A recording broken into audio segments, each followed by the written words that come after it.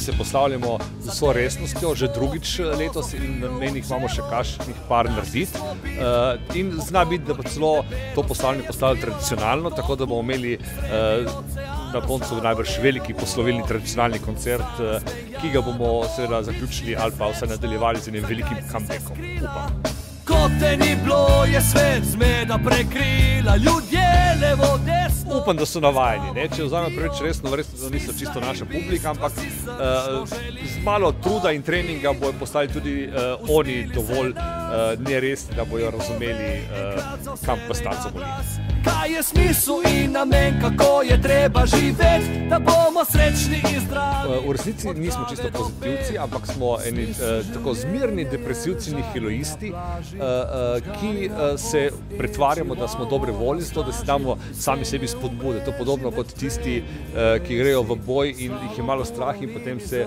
trikrat udari po prstih, spije en šnops in teče, da juriš, ne? in potem jih premaga uh, ta uh, entuzijazem nad strahom in panikom korakov, sanjanje parnika na modrem ogledalu, piknik z mravljico in luknja se. Ne, tako hudo še ni bilo eh, in eh, tudi si težko predstavljam, da nas bo to doletelo, preden nas bo dokončno pobralo od eh, nezdravega življenja.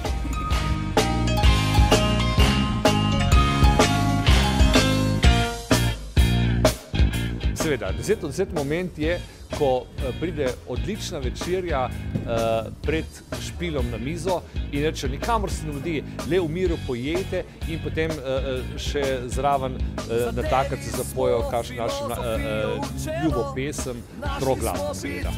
Okroglo in debelo se je skrivala na otoku, sredi oceana. Uh, v resnici ne vem, zaradi tega, ker se ne pogovarjam dosti z ljudmi, vsaj ne s takšnimi normalnimi, tudi tam kakšen pacient prbit priteče v backstage, nekaj pove nerazumljivo ponavadi, uh, ampak tisto jaz ne bi vzel za neko relevantno mnenje, ki bi se ga dalo posplošiti na uh, celotno publiko.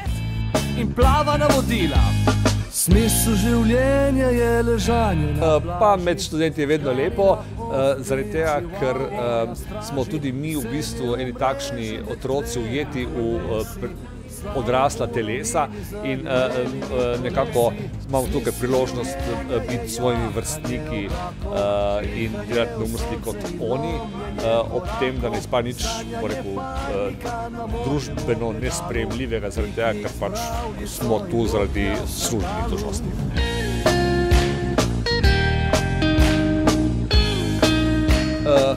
Nič ni nujno, razen umret, pa što ne vsem.